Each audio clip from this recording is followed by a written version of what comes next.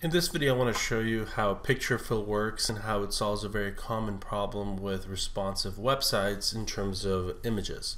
So for instance, this is the completed project, which is what we're going to be working on in a second.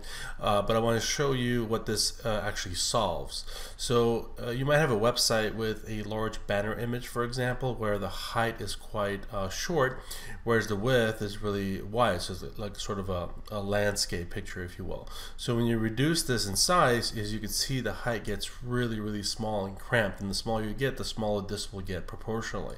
So this doesn't look so great on a narrow device. So where Picturefill comes into play, based on our breakpoints that we set up beforehand, it'll actually swap out this image with another image that fills the space uh, more effectively. So in this example, if we keep going, you'll see the image changed and the height is now larger. So it's the idea with this is that you use the same exact picture, but you have a couple of different crops or maybe three different crops of the same image. One image might be cropped where it's this sort of a wide image, and the same image can be cropped again, more like a square. That way it looks pretty good on a narrow device. And there's also a fallback uh, whenever these images perhaps are not available or these uh, breakpoints aren't met, it'll fall back to a default image. So you always have an image uh, to fall back onto. So this is Picturefill in action. So again, if you have this picture uh, where it's too wide, when you get really narrow, it you know kind of gets distorted, really small. Uh, but this way you can serve up to the same image, just sized a couple of different ways, so that way it still looks good on a narrow display. So how do we get this to work? So we're going to start off with a fresh CodePen. So if you want to follow along, go ahead and open up a CodePen and we're going to use uh, Picturefill. So this is the website for Picturefill. Uh, I'll have a link to this in the notes below. Uh, what you need to do first is download the minified. You can use the stable version here, and this is the version you'll be using in your project. One thing to note when you include this project, uh, this you need a link to the uh, script file, the Picturefill uh, JavaScript file. It does need to belong in the head section of your HTML. Just keep that in mind. I'm going to be using this CDN. I'll also have a link to this as well uh, linking to the same file. So instead of having to download the file to my computer and upload it, I can actually link to this uh, CDN here, the Content Delivery Network, so that way it's going to be available for me uh, uh, online. So what we need to do first, let's jump back into our fresh CodePen. I'm going to rename this to Picture Fill Example. Uh, you don't need the JavaScript panel. You can uh, We'll minimize the CSS panel for now, open up HTML. Uh, here's the head portion here. And so what we're looking for is they're asking us to include a script tag in the head. So here we go. Let me just kind of recap this real quick. Click this little gear icon in the HTML tab, and this will open up this pop-up. Inside this HTML area, you'll see here stuff for the head. Go ahead and paste that in, but this is not the link that we want. So I'm going to go back to that CDN, make sure we have this copied, this right here. Copy that head back over to this example and just replace that link. So now we're linking to that CDN. Perfect. So now we have Java, uh, rather we have uh, Picturefill all hooked up, ready to go. And if we look at their documentation page here, you'll see some different use use cases. So here's one example use case here. So you have an image tag and you have a source set and you have two different source sets. So this is the 1x version of the same image and then you have the 2x version.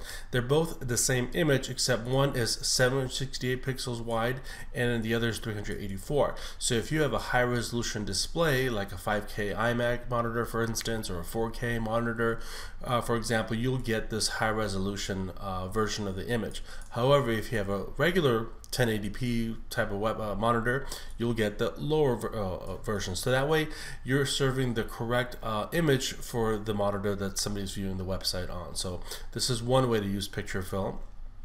Uh, but in you know here's another one here with different sources and uh, size sizes attributes. But the version that we're going to be using let's scroll down just a little further down is this version here. And this solves that common problem I just uh, demoed for you. And this is how I like to use Picturefill myself. So I'm going to go ahead and copy this code here. Copy that. Head back over to your project paste it in. And you'll see some uh, links to um, uh, different images and different sizes with these arguments in place. So with picture uh, fill, you want to go from your largest breakpoint to your smallest breakpoint in terms of the uh, uh, arguments that you set up, if you will. So what I'm going to do is that min width, 1000 pixels, I'm going to switch this to, let's say, 600 pixels. So in other words, if if the viewport, in this case is this space over here, is 600 pixels and above, serve this particular image. In our case, we don't have, this is not an actual link to an actual live picture, uh, but this is, this is what it would serve. If the, if the images are less than that, so I'm gonna change this to max width. So in other words, if it's less than 600 pixels, here, it's going to serve this URL and this different image. So this will be our sort of a landscape image and this will be our square image and this will just be our default image and don't forget that alt attribute uh, uh, information. So in this, in this case we'll just do picture fill example. Very good. So this is all you would need here. And because this is a responsive site, let's go ahead and target all the images on the page. Max width 100%. This way all the images will resize automatically for us with the viewport here. So what we need to do now is just the images. So I'm going to use Picturefill for this. I'm sorry, uh, placeholder. And there's an example here of a link to uh, an image you can grab. So just kind of copy this here. Copy that. Head back over to uh, your uh, CodePen and then just replace this link to the image here. Very good. So here's our image. One thing to note though, because this website here is HTTPS, you need to also have this link to HTTPS, otherwise the image does not show up. So right now we're looking at a min width of 600 pixels. So this is 600 pixels in here. So very good. So I want to change this to 1000 by let's say 300. So it's a kind of a wide image here. Very good. And let's say for example, if I keep this image just to demonstrate what I was uh, showing before. Just let's say we just keep this default image here. And if so as I resize this you see that the height here gets really cramped and it gets more and more difficult to see what's in the picture. So this is where Picturefill really shines. So in our case at at min width 600 pixels and above this image will show this uh, uh, landscape version.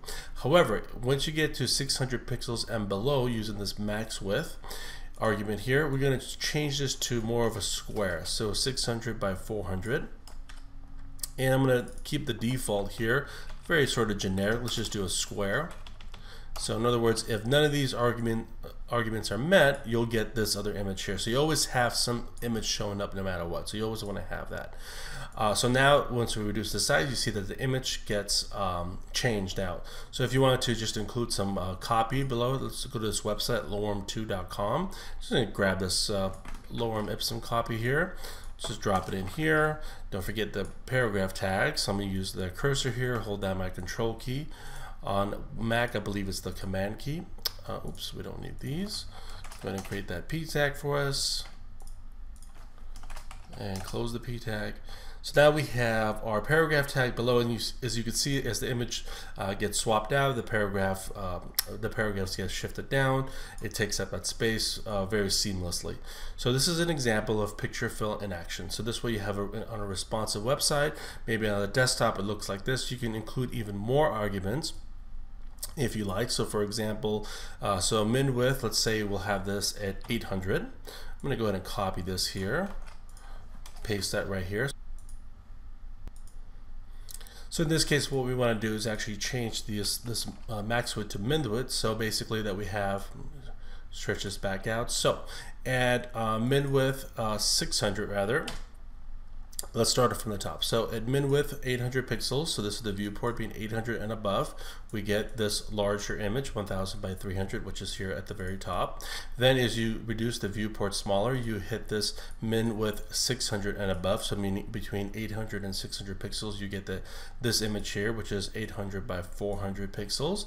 And if you keep going down to max width 600 pixels, we switch to the square. So this way you have three different breakpoints and you can add as many in here as you as you want. So you want to start off with these mid widths and start sort of going from a larger to smaller. And then once you get to the smaller, uh, I find that this max width works out pretty well. You can also probably change this, you actually change this to min width, let's say 250 and oops 250 pixels and above and you'll get that image as well. And again you'll default to this last one if none of these uh, arguments are met. So remember you want to go from larger to smaller